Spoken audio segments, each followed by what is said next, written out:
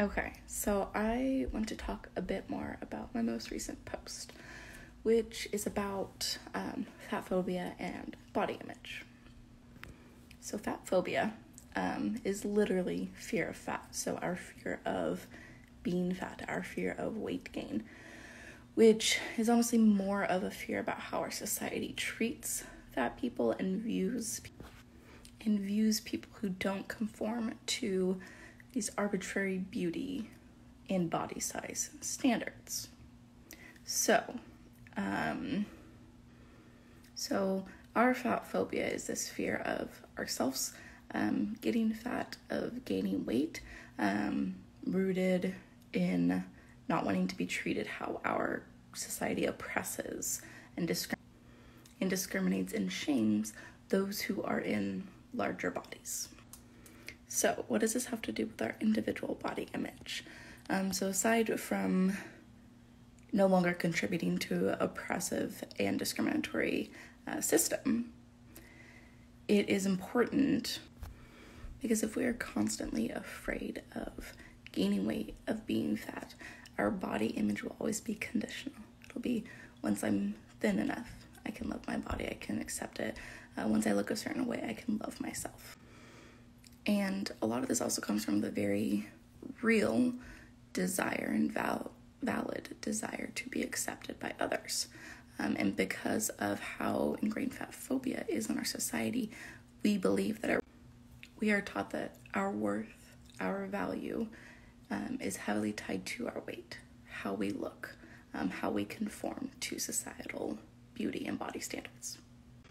And healthism is also another component that is important here um, because it's tied to fat phobia and that we believe that to be healthy we have to be thin and that health is a and that health is a signifier of value. It's how we get our value, our worth. Health is what we must achieve. And this gets twisted a lot. I'm not saying that health isn't important. But one, not everybody values health, and that's okay. We don't owe health to anybody. And two, certain people with health conditions will never be considered healthy um, by these societal standards. And so it creates this barrier for people who do value health but maybe don't fit this definition of health to engage with to engage with health behaviors um, which health is not tied to weight. Research shows time and time again um, that you can be you can be healthy um, no matter your your weight. And again, that's because it's individualized. The definition of health is individualized. Um, this gets really nuanced and complicated. But the bigger point here is that why does that matter? Why do we have to be healthy to feel like we're worthy? Why do we have to be healthy to feel like we are enough? Why do we have to be thin to feel like we why do we have to be thin or look a certain way to validate our worth?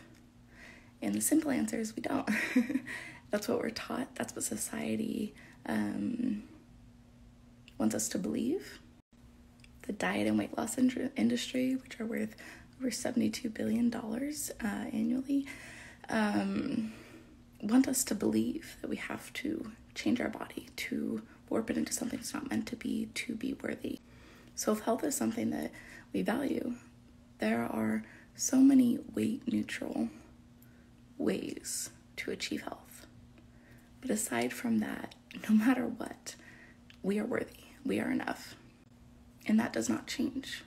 And one of the hard truths is no matter what goes on with our weight, our body is going to change. It's going to age, no matter how that looks for us. So it's going to change. So if it continues to be conditional, we're going to constantly be stuck in the loop of negative body image, uh, trying to change it, wanting to change it, and using up so much mental using up mental energy, our time, um, our our life trying to change ourselves for this arbitrary ideal that will never be enough. And that's because it's external. These like trying to to find this enoughness in these external ways. Um, and if we're able to turn inward, our enoughness is already there, our worth is already there.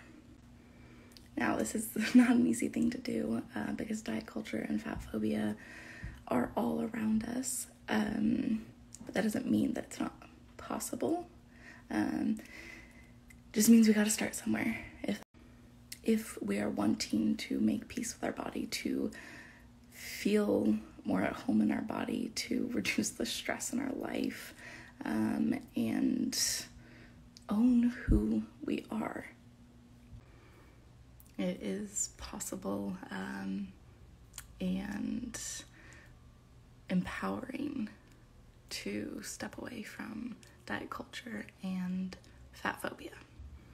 So, if you know we value making peace with our body and freeing up mental space and energy for things that bring us joy and feel good to us, and letting go of conditional body acceptance, um, whether we have body acceptance and it's conditional or um, tell ourselves, I can love my body when, I can love my body if.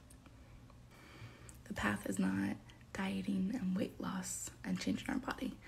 It is owning our worth and enoughness now and unlearning fat phobia and discovering who we are beyond our body. And again, this fear of weight gain, fear of our body changing, struggling with our body changing makes absolute sense. It is completely valid. And we deserve more in life than to stay stuck in these cycles of diet culture and self hate and conditional enoughness. We deserve more than that. Um,